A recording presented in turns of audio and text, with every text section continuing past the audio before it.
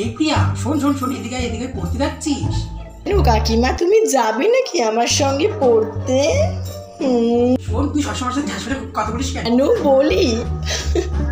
থাক বলতে গেলে তোমার রাগ হয়ে যাবে। এই শোন বলিস না তোর স্যারের বাড়িতে বিশাল বড় সাপ এসছে। বাবা গো চার কিলোমিটার দূরে আমার স্যারের বাড়ি। সেইখানকার খবরও তোমার কাছে আসে? তুমি কি শিলা কাকিমা তো নাকি সাংবাদিক কাকিমা? ওটা নিয়েই আমার চিন্তা হয়। ভালো যুগ নেই। ভয় করো না কাকিমা পাড়ার কত বিষাক্ত বিষাক্ত সাপকে সামলেছি আর ওটা তো শুধু একটা ঢোড়ার সাপ। ও আমার কিচ্ছু করতে পারবে না। তুমি নিশ্চিন্ত বাড়ি যাও কাকিমা। Bye. Subscribe my new YouTube channel